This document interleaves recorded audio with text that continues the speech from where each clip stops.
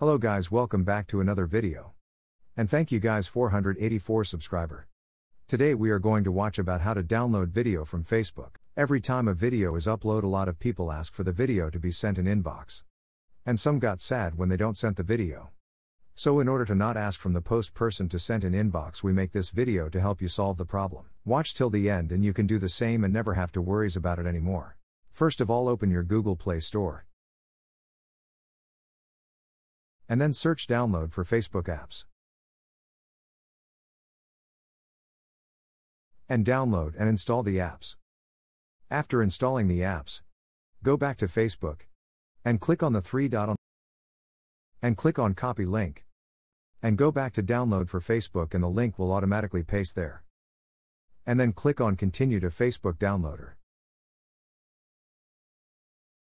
And then click on the green download option.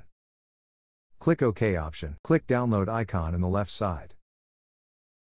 Click SD video download. And finally, you have downloaded the Facebook video in your gallery. And you can now post in status or share it to your friends. Thank you for watching till the end. For more videos like this, please like, share, and subscribe. And for any doubt, please comment download below.